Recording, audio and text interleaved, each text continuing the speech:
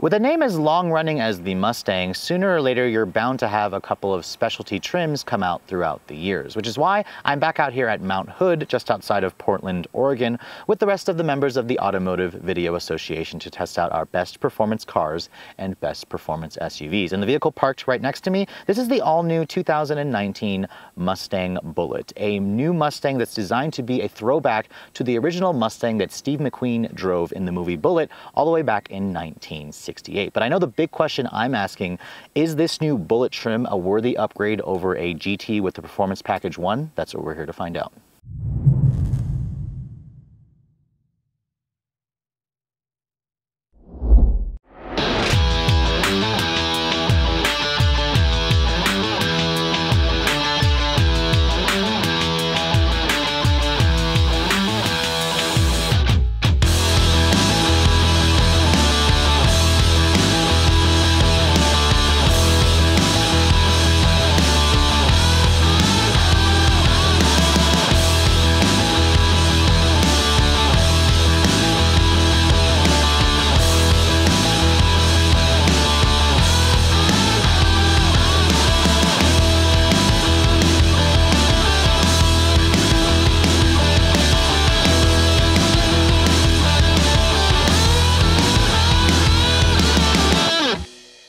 By now you guys should be pretty familiar with this generation Mustang. It's been out since 2015 and Ford gave it a significant overhaul uh, for 2018. For 2019, they've brought back the Bullitt. Now this vehicle doesn't really need an introduction because it's been around, the name has been around for 50 years. That's the reason why Ford has brought it back. And compared to the regular GT Mustang, the Bullitt gets its own unique styling elements. Of course, with all other Mustangs, you have full LED headlights, which are standard LED low and high beams, LED running lights, and then an LED turn signal down here in the lower part of the fascia. Now, the one thing that distinguishes the Bullitt from other GTs is this unique grille. Unlike other Mustangs, the running horse is gone. Instead, they've replaced it with this kind of black mesh finish uh, that is echoed throughout the lower portion here, and then you have this chrome strip. And then the Bullitt kind of comes with the performance package uh, as standard, so you have a unique front splitter where it's kind of a, a low gloss paint uh, on this portion as opposed to the high, the bright gloss.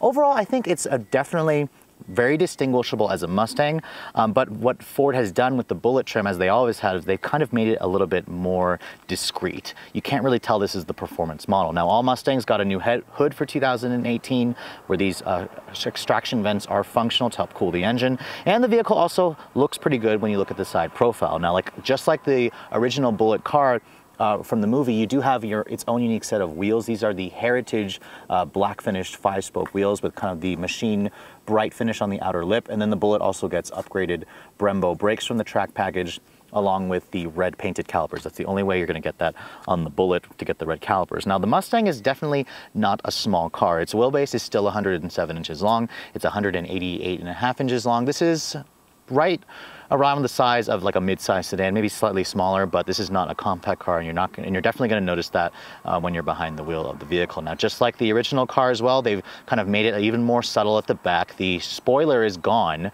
You can't even get a spoiler on the Bullitt. They've also replaced the GT badge over here in addition to getting rid of the 5.0 badge on the sides. Um, it's all meant to make this vehicle look a little bit more discreet. That's the whole purpose of the Bullitt. You're not supposed to know this is the high performance car until you start up the engine and listen to that exhaust.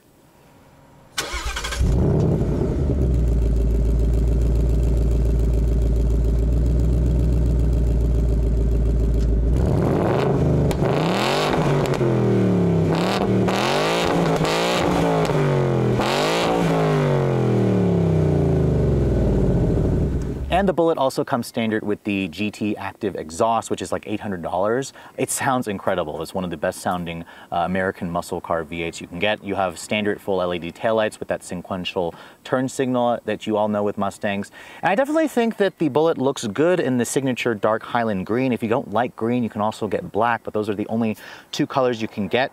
I'm just not so sure that the styling differences, the whole discreet factor are for me. I like the shoutiness of the GT with the wing spoiler, but again, you bought the Bullitt because you wanted it to show your heritage to the movie and you want something that's a little bit more discreet.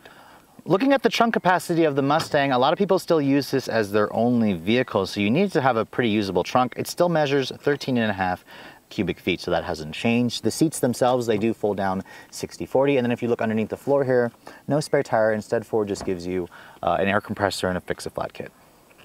Moving on to the inside of the Mustang Bullitt, I want to first show you guys the key fob. It does come with Ford's smart key access system with push button start. No remote start though because the Bullitt is only a manual. This key fob I've shown you before, it's the typical larger, uh, kind of a little bit heavier Ford key, but it's not bad. So if you keep this key fob in your pocket, just like every other vehicle, just touch this little area here on the door handles, that locks the door. And then Ford does a sensor on the back of the handle, so just touch that and it'll unlock the door for you. Now looking at the the rest of this interior, you can see this particular one that I'm showing you has the Recaro seats. They're a $1,500 uh, option for the Recaro seats. And just like the exterior, the Bullitt's uh, interior has slight tweaks here and there. The steering wheel, of course, being the first obvious one. You also have green stitching here on the actual seats. Black interior is your only option. I probably would skip the Recaro seats and just go for the standard seats because you do lose the power seats with memory, which is available and the heated and cooled function. So unless you guys plan to track the vehicle all the time, I wouldn't get the Recaro seats, although they do hold you in place nicely. I just don't like the way that they're manual and you lose a lot of the features. Now, getting into the interior, you can see it's definitely low, but you're uh, probably noticing that the interior of the Bullitt still has the typical Mustang qualities in here. When you shut the door, it's kind of heavy. Uh, and it doesn't sound super uh, solid when it shuts, but uh, a lot of these vehicles in the segment don't always sound that way. Now, starting the vehicle up, uh, push button start as I said, which is included. All you have to do is put your foot on the, or put the clutch in, push this button here to fire up the engine. and I do like the way that engine sounds. It's definitely a nice mean sounding engine. Let me move over to the sport setting that opens up the exhaust. God, that V8. Love that sound of that naturally aspirated V8. You can't really complain with that. But anyways, as you guys saw, the Bullitt does come standard with the 12-inch configurable display. This display changes the tack and the look of everything uh, based on you know what drive mode you're in, or you can also set it to just be in a specific drive mode if you guys would like that to do so. It also has this really nice green accents to it. So again, the green's kind of carrying through with the rest of this interior. Uh, on the outboard dashboard here, you can see there's some green stitching. It's soft touch right here. It's a faux stitching my tester has the electronics package for 2000 bucks that gives you the Bang & Olufsen audio system. You have this aluminum trim here with the performance pack gauges here, which show you the oil pressure and vacuum pressure inside the cylinders. Uh, the door panels here you can see is actually soft touch. That's included as part of the 401A upgrade package that this tester, that the Bullitt gives you. It's nice and leather padded right here. No memory seats, as I said, because this one has the Recaro option. The windows are One Touch Express for both windows, which is definitely nice. The steering wheel tilts and telescopes. It feels nice in your hands. A little bit big rim. I wish it was a little bit smaller with like a flat bottom, but maybe Ford will shave, save that for the uh, Shelby version of this vehicle. Um, I do like the, some of the switch gearing here feels typical uh, Ford. It all feels really nice and high quality. Now here is the Sync 3 infotainment system. Um, it's an 8-inch touchscreen. When you put the vehicle into reverse here, you can see it gives you a backup camera. It gives you trajectory. Uh, it also has um, no parking sensors in this particular one. Uh, however, it is available on other Mustangs as part of the security package. Speaking of which, there are no driver assistance available on the Bullitt, just blind spot monitoring a cross traffic alert and a backup camera. The other Mustang GT will offer um, the full speed range adaptive cruise control with lane keep assist and automatic braking. Mustang Bullitts, however, don't offer that. You can see here, I'm not going to go too much in depth with the infotainment system. This is the typical Ford Sync 3. It does include Apple CarPlay and Android Auto. You can see here's the navigation function. Ford really uh, made a lot of updates to you know their infotainment system. I will say that they need to work on the screen clarity. It's a little bit coarse and grainy. Um, it just doesn't look as high quality and as nicely modern as some of the newer competition. So I believe Ford is working on a new update of that. I've showed you guys something similar in the new Lincoln Navigator. Now over here, this these buttons would typically be for your um, heated and cooled seats, but as you can see with your cars, you don't get that. Lots of you know nice knobs and switches here for your climate controls. You have dual zone automatic. This controls your drive mode selector where you can cycle between track, drag strip, snow, wet, normal. My mode is where you can basically do an individual setting. Uh, and you can access the line lock and the um, launch control from the actual mode here by using this button here. Push this, you can change a lot of customization with this vehicle. Your rev match, active rev match, which is new for 2018 for the manual transmission models. You can also put the exhaust into like a quiet mode at startup if you don't want to piss off your neighbors. It's all really nice. So Ford's really upped the technology in this vehicle. And I also like with the Bullitt, you get a special unique placard here that shows what number your Bullitt is. Although that number 15, this one's the 15th produced, I'm guessing, doesn't actually echo into the VIN number of this vehicle. Now, just like the original Bullitt, you have a cue ball shifter here with the white knob. It's a six-speed manual, which uh, the throws feel a little bit longer to me, and I didn't really like the way reverse is or felt. When I was rushing the vehicle, driving it, I found that reverse isn't fully like just straight up. You kind of have to move slightly to the right. The shifter doesn't like being hurried, so we'll go over that into the test drive later on. No wireless charging in this vehicle, but you do have a USB port there. A little bit more storage. Cup holders here. It's slightly padded actually right here, which is nice. This is part of the Bullitt's interior upgrade. Usually this is a cheap hard plastic. Uh, and then over here, it's nice and padded leather. And then there's a nice little storage area with another USB, um, which is great. Uh, the glove compartment is not lined with felt, but it is damp. It's a good size. No sunroof is available on any Mustang. Uh, the seats, as I said before, hug you in place really well. Just be sure that you actually do plan to track the car because you will lose a lot of features. Overall, I do like the interior of the Bullitt. I like the updates with the green and the um, you know the unique elements of this vehicle over the exterior, um, but it's still the typical Mustang interior. It feels relatively spacious, but visibility uh, is a little bit constricted, but it is the best out of all the muscle cars. Now, occasionally you may want to use the back seat in your Mustang because remember, this is supposed to be a four-seater. So to get back here, let me show you how to do that really quick. Now, first of all, my tester has the Recaro seats, as I said earlier, and I think I may actually prefer the standard seats because these are only manual. And when I pull this lever, the seat moves forward, but it doesn't actually automatically slide. There's also a lever back here and it doesn't slide forward. So that's kind of a pain in the ass. You have to use the manual lever here and then slide the seat forward. There's no actual automatic function, which there should be. But getting back here, I'll do that to entertain you guys really quick. It's pretty tight. Now, I'm five foot seven and my head is touching the roof. Um, and I don't even want to put the seat back because there's like no legroom down here, uh, which is pretty typical of this class. The Camaro's not any better. The Challenger's the only one that kind of gives you more usable space. There's no armrest here, and the seat feels a little bit narrow. So if you're a little bit fatter, you're not going to fit very well back here. Um, so I suggest only putting people you don't like or small children in the back. Now, materials are all hard touch plastic on the door panels. It's all very cheap hard touch plastic. So I see a little cost cutting here in the rear seat. But again, most people are probably won't be putting uh, people in here, but you could uh, put your stuff down, put, put your stuff in here or fold the rear seats down. So underneath the Mustang's long and slightly heavy hood, the Bullitt only comes with one engine choice, and this is the engine that you're gonna want in this vehicle. It's the company's tried and true 5-liter Coyote V8. It's a double overhead cam, direct injection V8. Ford's been using this engine for quite a long time actually since 2011 but they've made steady improvements throughout to it throughout the years. 2018 is when it got a big refresh. Now the standard gts they make 460 horsepower. The Bullitt, however it gets a slightly unique tune so it breathes better. It also has a new uh, intake manifold um, which is actually similar to the one that you find in the shelby. Because of that it gets another 20 horsepower. So you're looking at 480 horsepower from a 5 liter naturally aspirated v8 that revs to 7500 rpm so those are the makings of for some nice nice um, stats for an enthusiast. Now torque, it's a little bit softer because it's naturally aspirated at 420 pound-feet. All, all, Bullitts only come with a six-speed manual transmission. It's slightly unique to the Bullitt with a slightly revised gear ratios. All Mustangs are rear wheel drive and fuel economy actually remains the same at 15 in the city, 25 on the highway. Please put premium gas in this thing. It's relatively heavy, about 150 pounds heavier than the standard GT. So this one weighs around 3,900 pounds. Despite that, Ford says it'll get to 60 in like 4.4 seconds. It'll top out at just under 190 miles an hour. Let's get it on the road and see how it performs.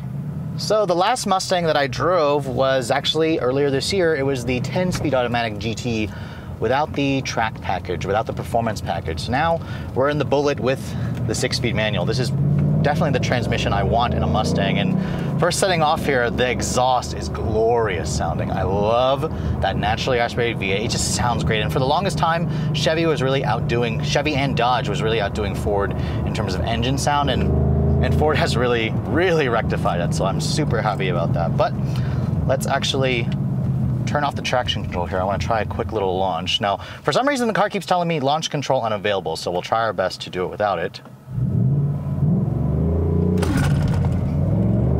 That was weak. Oh, that's glorious sounding.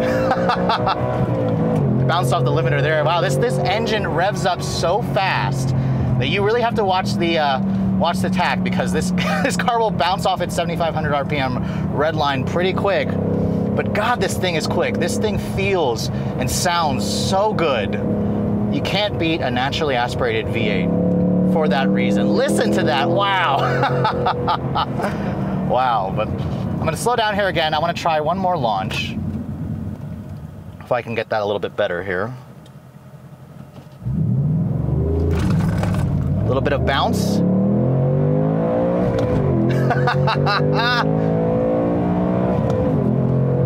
nice. wow. What a glorious sounding engine. Wow. this car is quick. Now, 0 to 60 times, 4.4 seconds easily. Um, the 10-speed auto could probably shave about half second off that time. Love the rev match function though. God, it just makes you like a pro driver when you start driving this thing and pushing it. Oh, oh, that sounds so good. Oh. Out of all the, the vehicles I've driven the past this past week for our best performance cars, I'd probably have to say the Mustang's one of the best sounding out of all of them. Maybe the Alpha comes very close, but it's an SUV, and you just can't beat the sound of a glorious V8. Now, I will say that the McLaren also sounded great too, but there's just something about this because this car is the only manual transmission out of all the cars we're testing, and that's what makes it so good. Now, driving down the road here, this car does have the magnetorheological dampers for like 2,000 bucks. Um, so it does help with the ride quality. I'm gonna actually switch the drive mode here uh, into its normal setting, which by the way, I don't like how the drive modes force you to cycle through everything. I wish the toggle actually just pushed down so I could go, you know, back and forth as opposed to toggling through everything. But once you put it into normal here, just kind of shift the gear and we'll go to higher gear. It's the Mustang still can be driven daily. That's the beauty about a vehicle like this is it's comfortable enough to where you can drive it daily. It stays relatively quiet, although this road here is very, very crappy, so it's hard to judge it for noise. But if you just get tired of the road noise, just start, you know, rev matching on the downshifts or letting it do that for you. And it sounds just absolutely insane. Now, visibility in this vehicle also could be better, um, but it is better than all the other muscle cars. The Camaro is probably the worst, but the Mustang just doesn't feel as playful and as focused um, as the Camaro. The Camaro just to me always feels like a more of a sports car. The Mustang's kind of in between the Challenger and the Camaro for feel. It has somewhat of that sports car feel because of the new independent rear suspension but it's just not as good as the Camaros and its Alpha platform.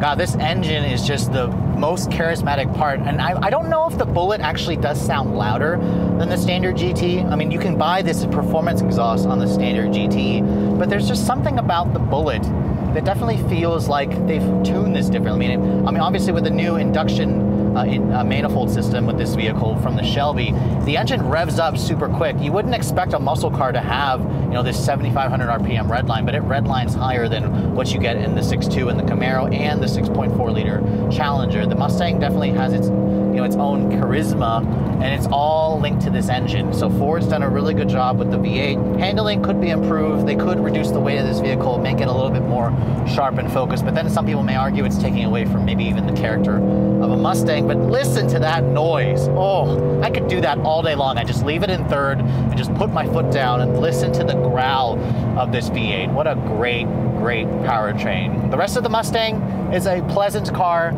Um, but I guess for me, with sports cars, sports cars, muscle cars, I prefer something a little bit more focused. Doesn't feel as big and heavy as this vehicle does. But the Mustang will get its own uh, when you start finding some back roads. The steering is really, relatively well weighted relatively quick as well.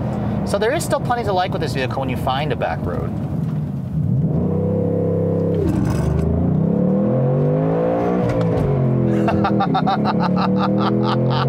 oh yeah. Smoked out the rear tires there. That was glorious. that was great. yep. If I had a muscle car like this, I would probably just roast the rear tires all the time. It's so easy to do, and it was relatively controllable. The back stepped out, but you just kind of add some throttle, steer in the other into the direction of the turn, and this thing will like to wag its tail. But I just, you know, for me, the styling of the Bullitt doesn't appeal to me because I never saw the movie Bullitt. So I don't like how this thing isn't really shouting the fact that it's a V8. Some of you may like that. They like the discreet factor of it. It's a sleeper people just think it's an EcoBoost or a rental Mustang, but it, when you start it up and listen to it, that's when it'll remind you that it's not.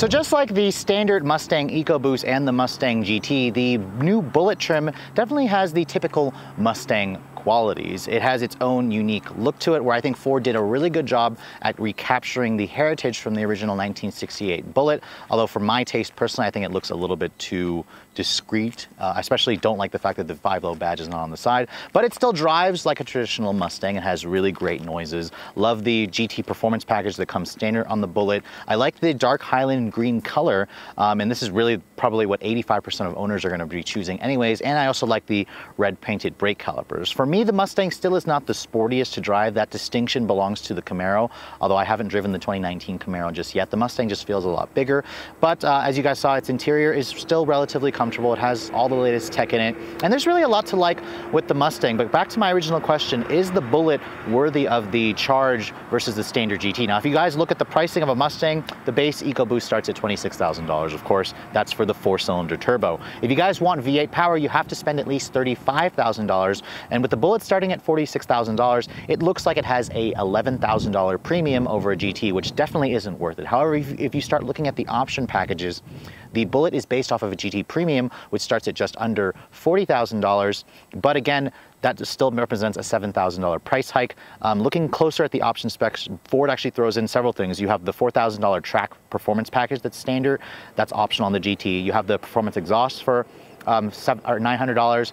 Uh, you have the upgraded uh, interior uh, trimmings and whatnot. That's part of like a 401A upgrade package for $2,000. So when you throw that back in, it actually makes the Bullitt roughly only like a $500 price increase versus a GT where you kind of build it to be spec'd like this, which makes the Bullitt actually a good value considering you get an extra 20 horsepower out of this vehicle just for basically paying $500 extra. So if you guys are looking for the ultimate Mustang that's not a Shelby version, the Bullitt's certainly worth a look. Just be sure that you're okay with getting something that looks a little bit too discreet, discreet and you have to also be okay with the green or black exterior color. But I hope you guys have enjoyed my full overview on this 2019 Ford Mustang Bullitt. If you're also looking to see latest cars I'm testing. Make sure you follow me on Instagram at redline underscore reviews. Like us on Facebook. And as always, guys, please keep subscribing to the Redline Reviews YouTube channel for all the latest reviews. Thank you so much for watching. I'll catch you all in the next video.